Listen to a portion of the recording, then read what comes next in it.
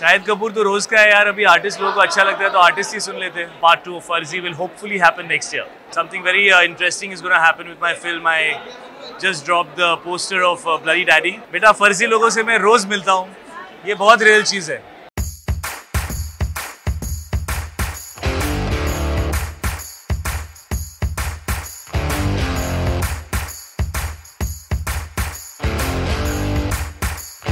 Shahid Kapoor at Jio Studios host an evening of celebration. Well, I'm very happy to be here. Something very uh, interesting is going to happen with my film. I just dropped the poster of uh, Bloody Daddy.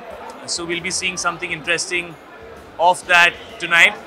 I'm here for that, and of course, I'm here for Jio Studios. And uh, Jyoti is a good friend. She's uh, worked very hard to put this amazing evening together. There's going to be a lot of amazing content being put out there, and uh, something very special with Bloody Daddy. So I'm very excited.